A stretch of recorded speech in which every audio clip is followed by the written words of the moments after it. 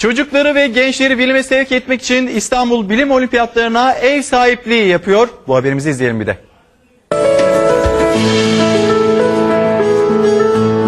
Çocuklar ve gençler bilimde yarışsın diye uluslararası bilim olimpiyatları düzenleniyor. Geleceğin mucitleri dünya ile yarışıyor.